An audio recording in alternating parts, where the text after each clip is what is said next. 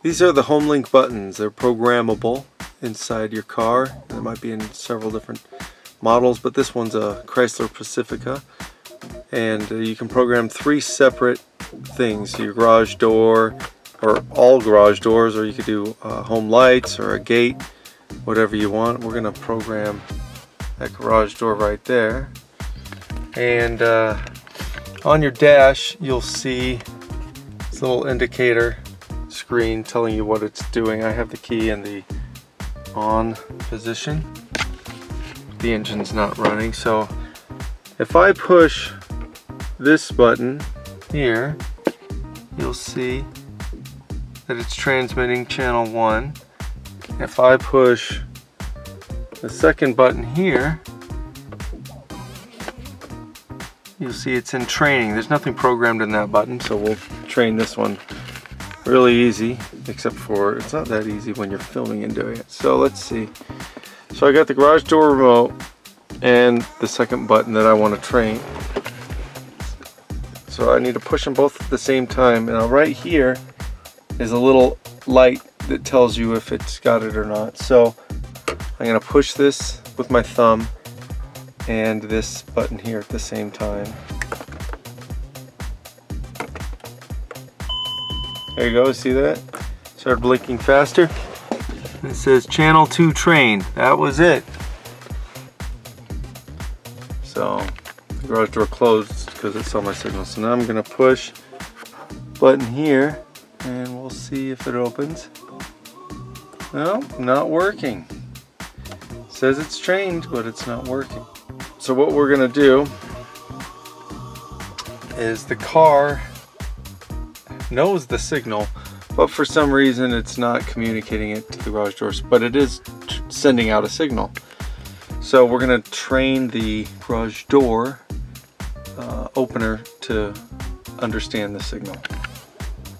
All right, here's the garage door opener. If I take off this cover, has this little button that they call the learn button. If I push that, you'll see the light comes on. Now it's ready to learn a signal. And I'm gonna send it the signal from the car. Now you got about 30 seconds to send it before it uh, is reset. So I'm gonna push this button. And did you see that light went on and off? That means it understood it. So now if I push this, button number two, there it goes. So even though we followed the directions, it still didn't understand the signal. We had to go program the actual opener. If for whatever reason you want to clear all the codes in your HomeLink buttons, you push these two outer buttons, hold them both down, and then this will begin to blink. And also, you'll see that it says here that the codes are cleared. So that's how to erase all the codes in your HomeLink buttons. There can be several reasons why it's not working if you're having trouble programming your HomeLink system. So if you start from the beginning, make sure you have a remote that's controlling your garage door, a handheld remote that works. Uh, if you need a new one or help programming that, you can check the description of this video and there's a link on how to do that. So assuming you have one and it works fine, no problem, push the button that you want to train in your HomeLink system. And if it's button one, push button one and read what it says on your dashboard. If it says uh, training, then it's ready to accept the code. It, it doesn't have any information that it's sending out. If it says transmitting, then it does have a code that it's sending out and the garage door should be picking it up. And uh, if you push the learn button on the garage door opener itself and then push the, the transmitting button on your HomeLink system and it still didn't blink, it didn't work, the problem could be um, also with the remote itself. I know Genie garage door openers and others probably as well use both 315 megahertz and 390 megahertz signals.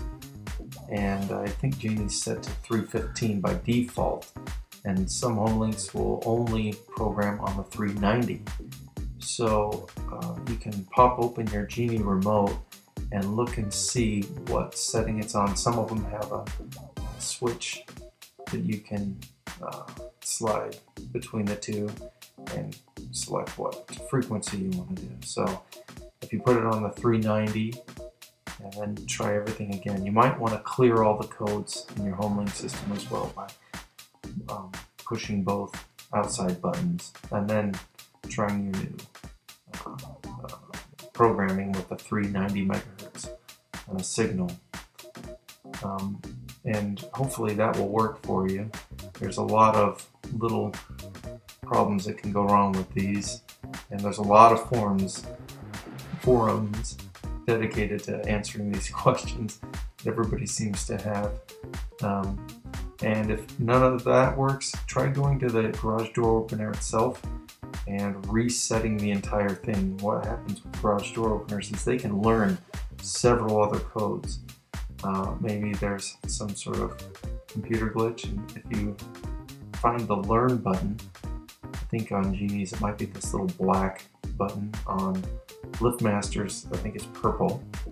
You open it up and you hold it down and it should reset all the codes. There's probably a couple printed instructions, but I think you hold it down for at least 10 seconds and you'll see a little flash or something that lets you know all the codes are reset and you'll have to program them all over again. So that might be the problem, opener itself. So give that a try, resetting that as well, and hopefully that helps.